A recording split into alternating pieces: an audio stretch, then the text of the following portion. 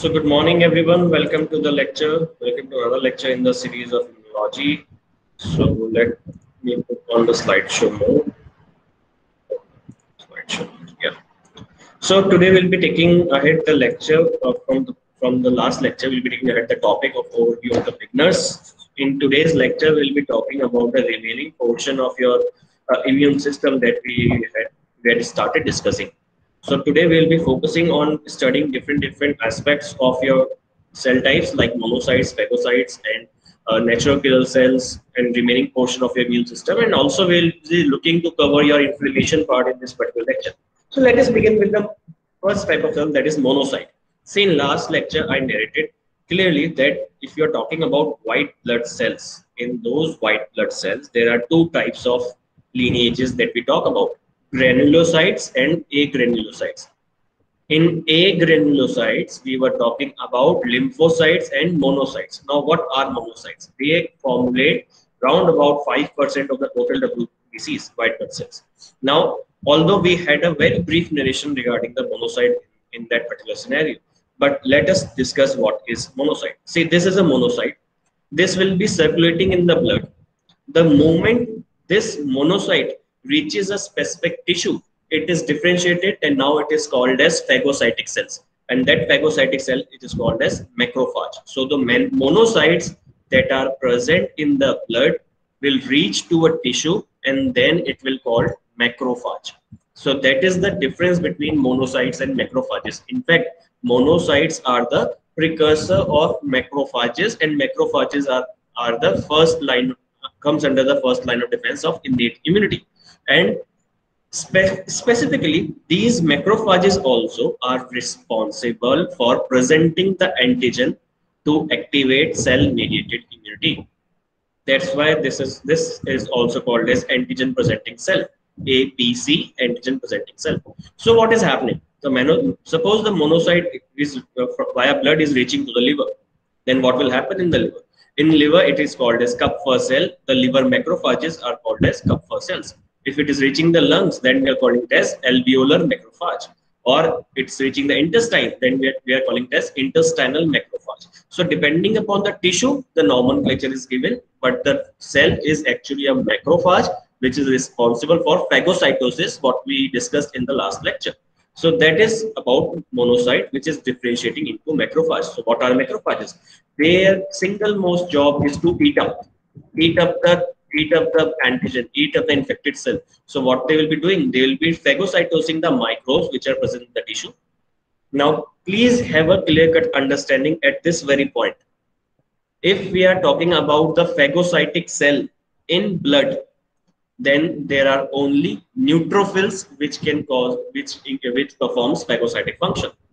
But when we are talking about phagocytic cells in tissues, organs, tissues, then we are calling talking about macrophages. So please have a very clear understanding that phagocytosis is there. Neutrophils will be responsible for phagocytosis in blood and macrophages are responsible for phagocytosis in tissue. And apart from this, both of them are responsible for presenting the antigen. Although macrophage is a classical type of antigen presenting cells. So what are antigen presenting cells? What do you mean by presenting an antigen? That we'll discuss in the subsequent lectures. But for now, just to give you a brief that this is a cell which will present the antigen on the surface for any T cell to recognize and then activates the cell mediated immune response. Then another type is natural killer cells. See, the name itself is saying what? Natural, natural killer. That means they are involved in killing a cell, right? So what, what are these cells? They are, they are the part of innate immune response. They will recognize an infected cell. That is the main part. See, these cells will kill selectively the infected cells. Selectively the infected cells. And what type of cells? They, they will kill the T cells. So that's why they are called as natural killer T cells. So they will recognize whether the T cell is infected or not. If the T cell is infected, I have to kill it whether the T cell is infected by a virus, then I have to kill the cell. I have to completely kill the cell so that virus will not get any host to replicate or any bacteria is infecting the cell.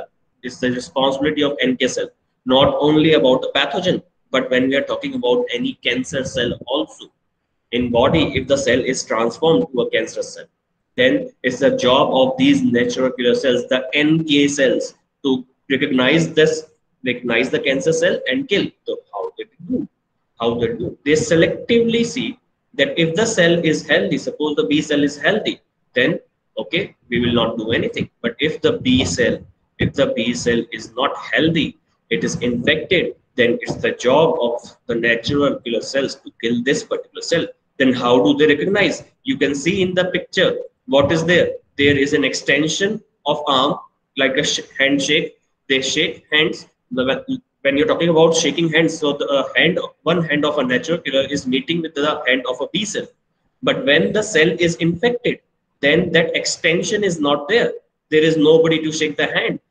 Then this particular natural killer cell will recognize that yes you are hiding something. You are not meeting me as great as gratefully as the other normal cells. That means you are infected and now it's my job to kill you.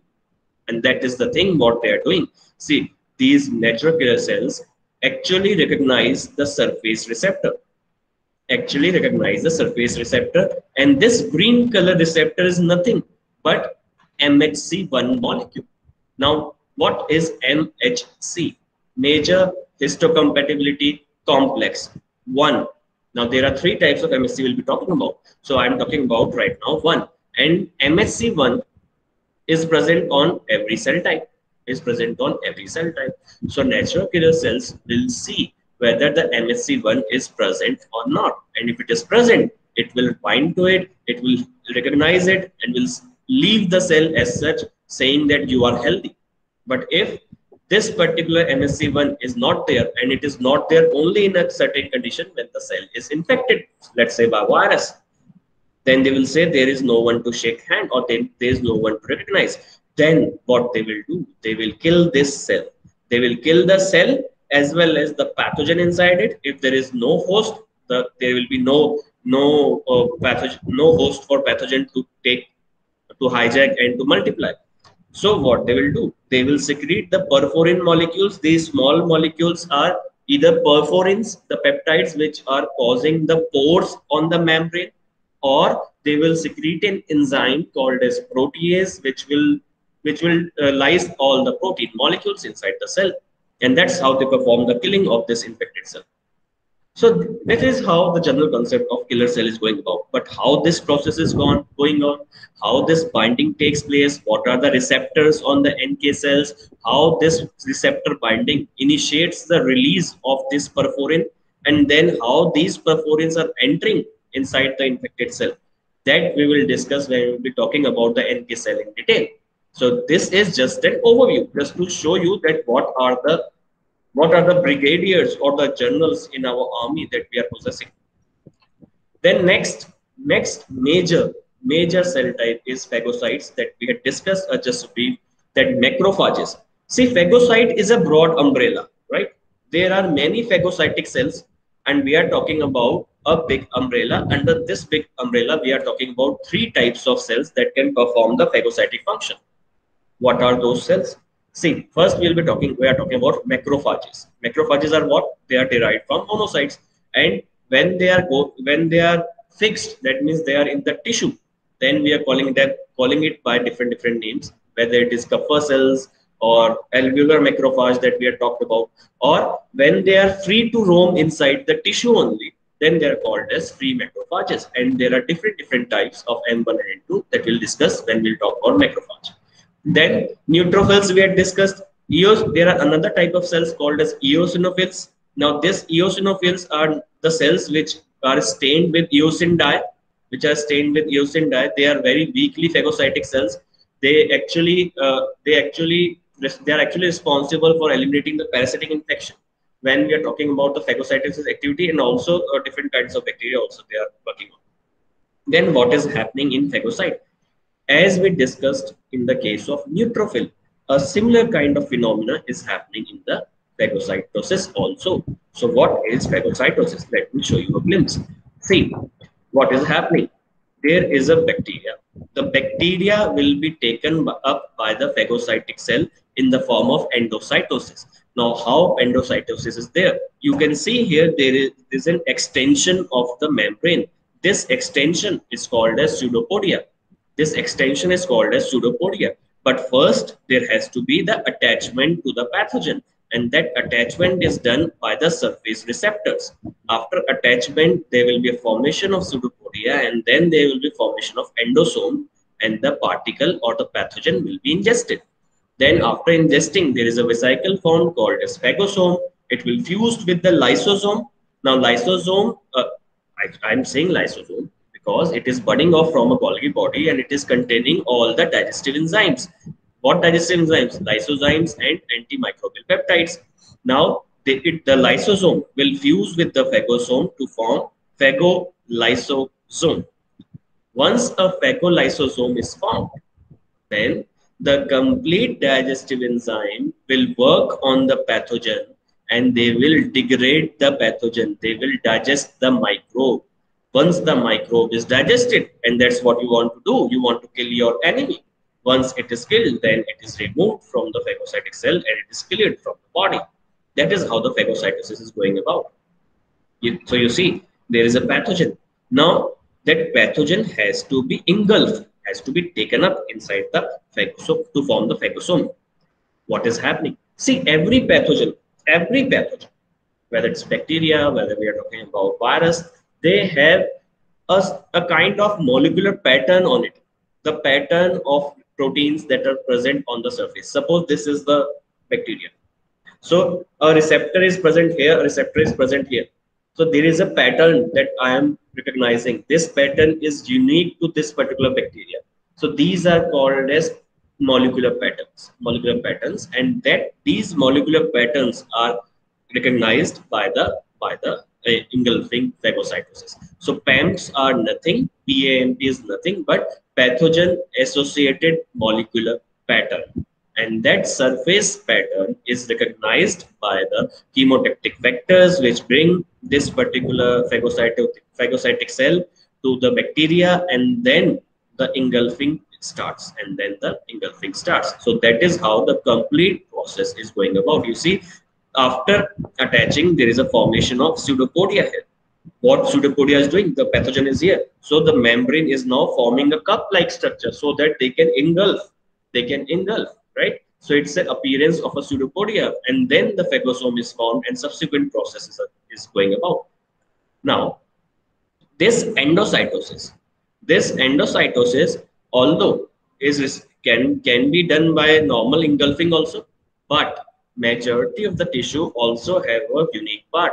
They have certain receptors which will bind to the bacteria and this receptor will be responsible to take this pathogen inside the cell as in the case of viruses. Viruses always bind to the receptor, as you know. Fine. And majority of the viruses actually bind to the receptors. And then the receptor mediated engulfment or endocytosis is happening. So that is that is the way, that is how the, the phagocyte, phagocytosis is happening. Always remember blood, it's just monocyte and neutrophils. Neutrophils is the major phagocytic cells. Tissue, we are talking about macrophages. Okay, then, after all these, uh, understanding all the players, uh, one should be have, have, one should have a very clear cut understanding. All these players are coordinating properly to give an immune response. Next line of understanding should be in terms of inflammation. Should be in terms of inflammation. Now, what is inflammation?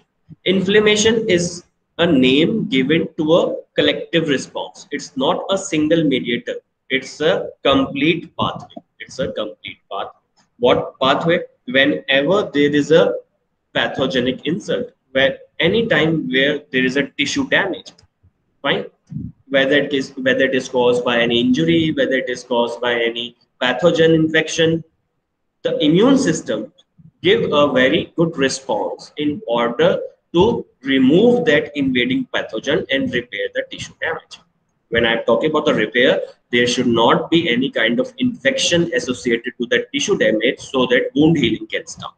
So that particular response is called as inflammatory response. Now, inflammation is of two types. First is acute, another is chronic. Acute inflammation is for a very short time. And acute inflammation is required, is required, is of utmost importance. If acute inflammation is not there, we will not be able to mount any response. But when that inflammation, suppose was to be, inflammation was to be there for four hours, but now it has extended to 10 days. That is called as chronic inflammation. And then chronic inflammation is associated with multiple disorders. So there is very fine line. I want inflammation, but for a short duration of time. If longer duration of inflammation is there, then it will lead to tissue damage and it will lead to the onset of multiple disorders. So the inflammatory responses which are generated by the immune response are are, are elicited by different different carriers. Like if you're talking about the microbe, the membrane lipopolysaccharide the lipopolysaccharide which is present on the bacterial membrane is responsible for triggering the inflammation response and that you can see easily in the lab also in tissue culture lab when we are using the raw cells the macrophagic cells you add lipopolysaccharide from outside and you will see that those macrophages are now secreting the pro-inflammatory cytokines and that you can measure by the ELISA. So what is happening? See, the LPS will interact with the surface receptor it will trigger the cell signaling pathway. Due to those cell signaling pathway, the cell will realize, oh, it's a pathogenic insult. Now I have to mount an immune response. And that is how the inflammation works. That is how the inflammation works. Fine. So the when you're talking about inflammation, what is the end result? What inflammation is doing? It is calling all the cells to the site of infection please come. It invites all the cell in multiple quantity. It the cells and the molecules will be coming to the site of infection fine and then they will seek the pathogen they will digest the pathogen and they will clear the pathogen from the body. That is the inflammatory response. And that is called a, that is categorized under innate immune system. So when we are talking about the history part in first century ad in first century ad i'm talking about AD, please remember, the Roman physician Celsus was the first one to describe the inflammation. So he gave four classical signs of inflammation, which are followed till now, which are followed till now.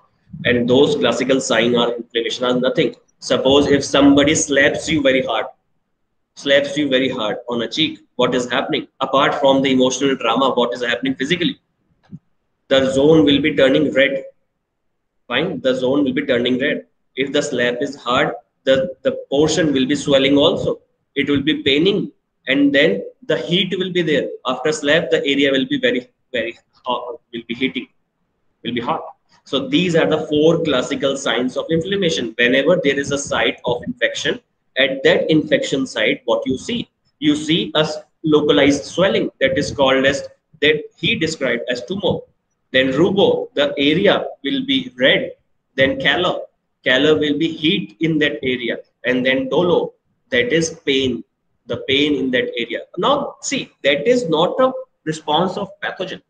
It is a response of immune system towards that pathogen. The redness is there because the capillaries are vasodilating and there is a high influx of blood. There is a high transfer of blood to that localized region because you want to transfer and supply the white blood cells also. Fine. Swelling, why? Because in the localized region, multiple cells are coming. So if multiple cells are coming in the localized region, then there will be swelling. And if pain, why pain is coming? See, there is a limit to the vasodilation. If the vasodilation is going this, then it is pressurizing the surface of epithelial cell. That's why you are feeling the pain. And heat, why heat? Because multiple reactions are there. The digestive reactions are going about, the release of chemokines are going, going about. So in that area, the generation or the release of energy is there, which is giving you a heat, which is giving you heat. Then in the after the first century, in the second century, the last mark, that is a fifth cardinal sign. And today we talk about five hallmarks of inflammation. So four was given by uh, Celsus, and then the last that the fifth mark was given by Galen, that if somebody slaps me very hard, then this particular area goes, goes numb. It goes numb. Why? Because it has lost the function. So the fifth sign is loss of function. And these are the cardinal signs of inflammation. The classical cardinal signs that is swelling, redness, heat, pain, and loss of function. Please remember that. Please remember that. And this is how they represent it. And perhaps I love this picture, the best picture that represents all the markers. So what is happening here? You see, there is a heat because of the slap. The, there's a heat. There is redness on the face because of anger. There is swelling in the belly and there is pain because of loss of a hand. And then there is loss of function. You are not able to perform the function. So this, these are the representation of classical inflammation sign. So what are the molecules or what are the processes that is mediating the inflammation? First is vasodilation, where the vessels, vessels, veins are actually dilating. And after dilating, what is happening? See, there is a capillary. This is the tissue. Infection is here. So capillary has dilated so that the maximum blood flow can come. Now, what is the job? My WBC wants to cross this barrier from blood. They should enter to in the tissue. Then only they will be able to perform the function. And that is given by increased vascular permeability. This permeability of the vessel is now increased because of multiple chemofactors, uh, cytokines that we are releasing. And this increase in the permeability will cause my cells to pass from this barrier and enter inside the tissue. Then extravasation, the leakage of the fluid, the leakage of the fluid from the vessel that is called causing the swelling. Then there are multiple chemical factors that will come into play in causing the inflammation part. And that is all that the vasodilation, there is increase in diameter of the blood vessel. Now that increase in diameter, diameter is responsible for the redness that is called as erythema. Always remember the redness that we are talking about is called as erythema. And because of the increase in blood vessel, because of the increase in blood vessel, there will be an increase in temperature also. Fine. Then the permeability also has to be increased. Why? Because anyhow, the cells which you are bringing has to cross the capillary and enter inside the tissue. And that is called as influx. It is called as influx. And always remember one more thing. The swelling is called as edema. The swelling is called as edema. Now, why the swelling is coming? Because the fluid is crossing the capillary and is accumulating in the localized region. Now, this accumulation inside a localized region is resulting in the bulging or the swelling called as edema. And that accumulation of fluid is called as exudate. Is called as exudate. Why exudate? Because it is expelled from the body the fluid which is expelled from the body capillaries is called as exudate and it is localized in its localized form is causing the swelling called as edema. And that is how the complete process is going about. So this particular figure summarizes what we have read till now. See first of all let me tell you what is this.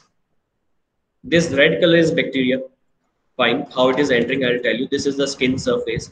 Then this is the lower epidermis and other other cells then there's, there is a capillary blood capillary which is bringing different different type of cells. These are rbcs these are rbcs and these uh, these are different different types of cells or the cells which are we are required which are required to go to the site of infection. Fine? Required to go to the site of infection. Now these are actually phagocytic cells so what is happening? There was a tissue damage. There was a cut that happened. There was a piercing that happened. So, so there is a tissue damage. The moment there is a damage, you will see that doctor gives you an antibiotic. Why antibiotic? Because he don't want that any kind of pathogen bacteria that is prevailing inside, prevailing in the environment should enter inside the body via that cut or via that wound. So what is happening?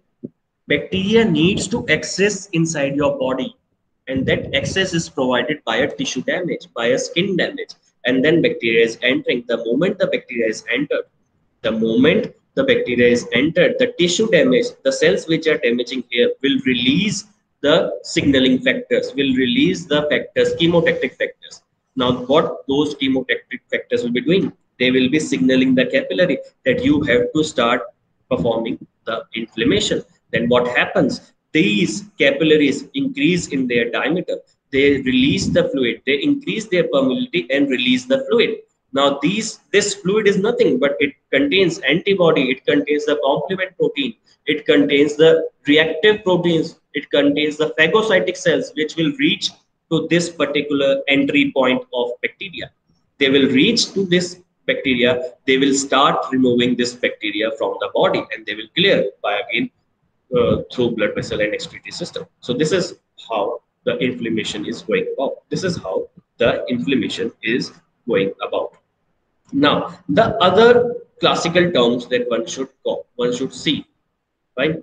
So uh, let me show this you here. See these are phagocytic cells. Now these phagocytic cells are moving inside the capillary. So the flow of blood is in such a manner that these cells always remain at the center of the vessel. The, they, the flow the flow of the blood ensures that all the phagocytic cells are going at the center. They are not going towards the boundary wall. The moment a signal comes that yes, the infection is there, these cells now shift towards the margin or the margin towards the endothelial cells and then they come out and this process of going towards the margin is called as margination and the coming out of the fluid or coming out of the cell is called as extravasation extravasation or diapedesis or diapedesis so always remember that coming out from the capillary coming out from a capillary is extravasation, diapedesis, and coming from the center of the capillary to the margin of endothelial wall, that is called as margination. That is called as margination. And then there is another term that we regularly hear. There is a pus fluid. There is a pus fluid at the, at the site of infection. The pus is filled. You have to remove that pus. Now, what is that pus? What is that pus? See, at this particular site, suppose the fluid has gone now. Fluid has performed its function. It has destroyed the bacteria. Now, bacteria also destroyed some of our cells. So what, what all are present here? The dead cells, the digested bacterial cells, the fluid that was secreted. Now, once the macrophages of fluid is secreted, it is not taken back, right? So that accumulation is called as pus that accumulation of dead cells, digested material, and fluid that is released is called as pus. So always remember that these are the classical responses of immune system. It's not because of the pathogen. Yes, because of the pathogen, the inflammatory responses are there, but these are our response to the pathogen in order to clear that microorganism, in order to clear that microorganism. Then at the end what is happening? Then at the end what is happening here in this picture? At the end the last point is to clear this particular pathogen. All these things we have discussed but we have left a single part that is this these reactive proteins that are released now what are these reactive proteins we call them as acute phase proteins acute phase proteins called as c reactive proteins or crp in general what are these these are the proteins that are synthesized in liver. They are synthesized in liver in response to the tissue damage, in response to the tissue damage. Now, why we are why they are called as C-reactive proteins? C-reactive proteins is simply because they recognize the bacteria by a particular mechanism. How? The bacterial cell wall contains polysaccharides contains polysaccharides. It contains a polysaccharide called as C polysaccharide. So based on their pattern of recognition, based on their pattern of identifying the bacteria, it they are named as C-reactive protein because they are identifying the, they are recognizing the C polysaccharide on the cell wall. They are recognizing the C polysaccharide on the cell wall. Now what they will do? They will go and bind on the bacteria. They will not do anything. They are going and binding to the bacteria, but their binding will help the other cells to recognize where the bacteria is. So they are acting as a marker to tag. They are acting as a tag that we provide on a bacteria. And they, that's why they increase the, the part of complement system and then lysis of the cell, lysis of the pathogen is performed.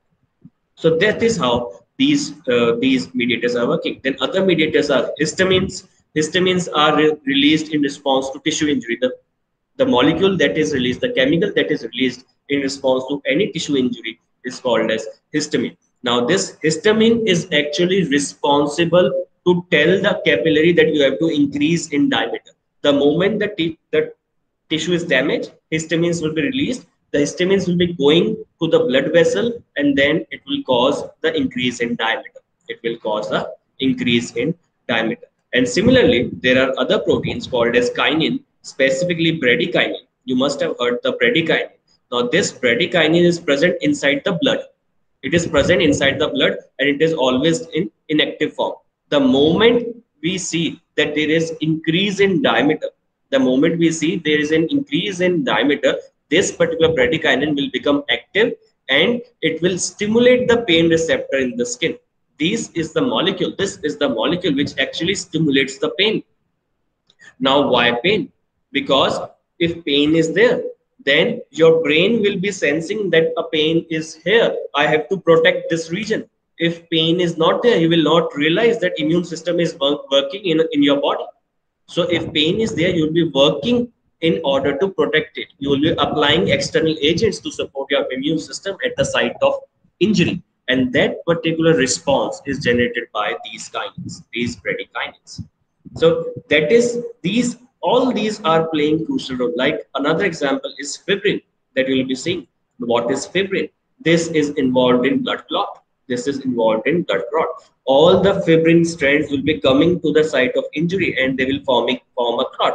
They will form a barrier barrier at the site of injury till the point the cells are replenished or the tissue is repaired the environment should not be sending any kind of infection to the tissue site or inside the body and that is the job of fibrin molecules or fibrin molecules which is actually forming the clot which is actually forming the clot so we'll be seeing the blood clotting also in detail during the course of fractures so that is all about your first line of defense then second line of defense that we had discussed was uh, adaptive immunity or the acquired immunity. Now, acquired immunity is responsible or it is specific in response to the antigen. It may it is slow. It takes few days to develop, and it is divided into two parts as we described. If it is mediated by T cells, we call it as cell-mediated immune response. Fine. And if it is mediated by B lymphocytes and the antibodies to clear the pathogen, then we are calling it as humoral immune response. So have a clear cut thought. B cells, B lymphocytes, antibodies, clearance of pathogen, that is that is humoral response. And this humoral response is always happening inside the blood, the plasma cells. Then if we are talking about the macrophages, taking the cell, digesting, presenting on the surface, and then the T cells are getting activated that is called as cell-mediated immune response. That is called as cell-mediated response, and th this is the real-time picture of the T cell that is actually present. That is actually present inside our body. So what is happening? The T cells, how they will be activated? They will recognize the antigen which is presented by the macrophage, as we discussed in the later earlier slides. The macrophages are presenting the antigen by major histocompatibility complex now they are they have presented the antigen. Now T cells are roaming.